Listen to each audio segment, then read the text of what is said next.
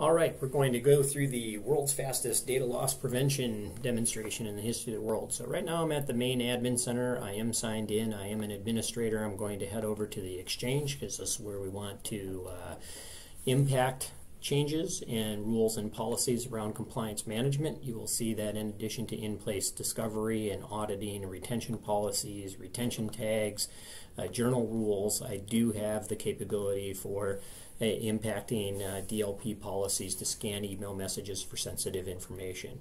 I can add these from a policy template and you'll see a wide variety of policy templates available depending upon whichever country you're in or country that your email uh, messaging sender and recipients are in that you can apply to protect your messages.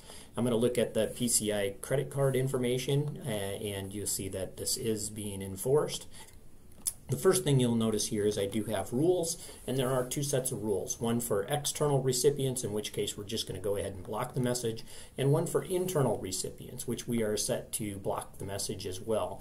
So if the recipient is located inside the organization and the message contains credit card, and we do scan even attachments uh, for credit card information, you want to notify the sender with a policy tip. But I do think that there are some times, like sending a message on to our internal credit department, that we should allow the sender to override and send.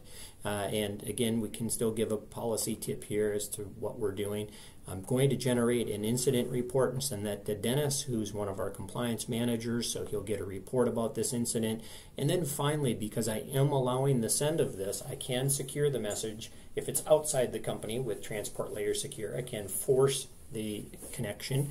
And I can, if I inside the organization, I can apply a rights management and I'm going to select one of my templates, in this case the do not forward, because again I've got a legitimate sender uh, sending to a legitimate recipient, and I don't want to block that. Um, but I don't want that legitimate recipient to then go ahead and forward this message on. So I'm going to block forwarding of this message. I could create a new template that says, you know, only allow this uh, for five days, then expire the content, or uh, only if they're these you know particular people, etc.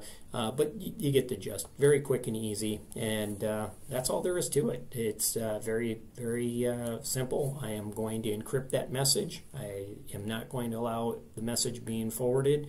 I am going to notify somebody internally that this message was sent, and I am going to block it, but allow an override.